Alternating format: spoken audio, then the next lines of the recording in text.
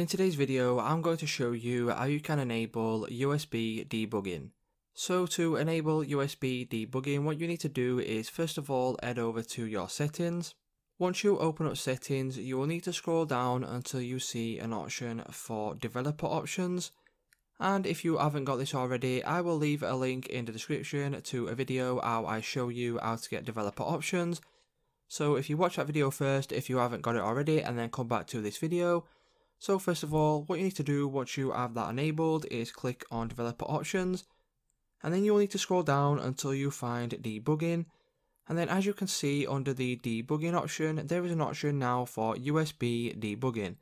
So if you toggle that on, what you will get is this little pop-up here, and if you are happy with this, you can click on OK, and then that will mean that USB debugging is now enabled on your mobile phone.